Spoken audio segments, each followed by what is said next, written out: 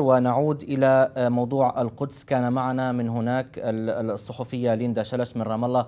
أستاذة ليندا قبل أن ينقطع الاتصال كنت تصفين لنا الوضع في القدس. هلا أعدت لنا الوصف؟ كان الاتصال سيء. نعم بالفعل هناك حالة من التوتر تسود في مدينة القدس المحتلة وذلك على إثر التعزيزات الإسرائيلية في محيط البلدة القديمة والمسجد الأقصى المبارك تزامنا مع احتفالات اليهود بما يسمى عيد الفصح.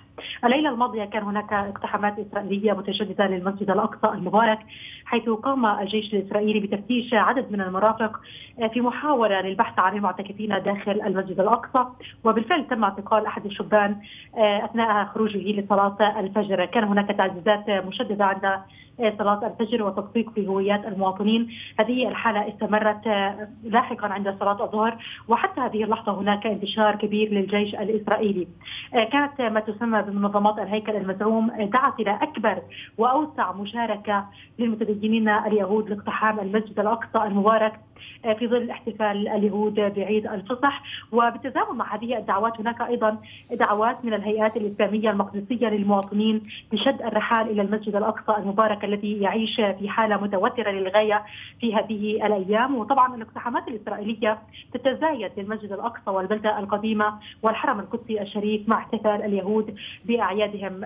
المتطرفون اليهود طبعا يستخدمون هذه الأعياد ذريعة لاقتحام المسجد المبارك ولكن هناك هدف أكبر من ذلك وهو تقسيم المسجد زمانيا ومكانيا إلى اليهود والمسلمين كما حصل في المسجد الإبراهيمي في مدينة الخليل. بالإضافة إلى بسط السيطرة كامله على المسجد الأقصى المبارك، اذا هناك دعوات إسلامية لشد الرحال بالتزامن مع هذه الاقتحامات الإسرائيلية. نعم أود منك أن تصفي لنا هذه الدعوات الآن، هل هناك تحركات فعلية على المستوى الشعبي؟ طبعا هذه الدعوات تتم من خلال مواقع التواصل الاجتماعي بالإضافة إلى وسائل الإعلام الإسرائيلية حيث تقوم ما تسمى بمنظمات الهيكل المزعوم لدعوة كل المتطرفين اليهود ليس فقط داخل الكيان الإسرائيلي والقدس المحتلة وإنما أيضا في المستوطنات الإسرائيلية في الضفة الغربية للتوجه المسجد الأقصى المبارك وأداء الصلوات التلموديه وهذه الاقتحامات والدعوات زي احتفال اليهود بمناسبتهم الدينية. كما ذكرت هذه المناسبات الدينية تتخذ ذريعة لمواصله هذه الاقتحامات وتصعيدها ضد المسجد الأقصى. المبارك، هناك حالة من التوتر وأيضا تعزيزات إسرائيلية. وهذه التعزيزات ستستمر وستتزايد خلال الأيام المقبلة حيث تتواصل الأعياد اليهودية. وطبعا لابد من الإشارة والتذكير بأن الاحتلال الإسرائيلي يقوم بالفترة الاخيره بتصعيد الهجمة على المسجد الأقصى وأيضا على المرابطين من خلال اعتقالهم أو إبعادهم عن الحرم القدسي الشريف. طيب في سؤال أخير. يعني ما الذي عدا مما بدا بالنسبة للاحتلال؟ لماذا الآن بالذات يعني أقدم على هذه الهجمة؟ طبعا هذه الدعوات لاقتحام المسجد الأقصى أو اقتحام المسجد الأقصى المبارك هذا الأمر ليس جديدا على مدينة القدس المحتلة ولا على الحرم القدسي الشريف. من فترة لفترة هناك اقتحامات لا يكاد يمر يوم دون أن يكون هناك اقتحامات للمتطرفين اليهود للمسجد الأقصى المبارك وهذه الاقتحامات تتم من خلال توفير حراسة وحماية لهؤلاء المتطرفين من قبل الشرطة الإسرائيلية والقوات الخاصة.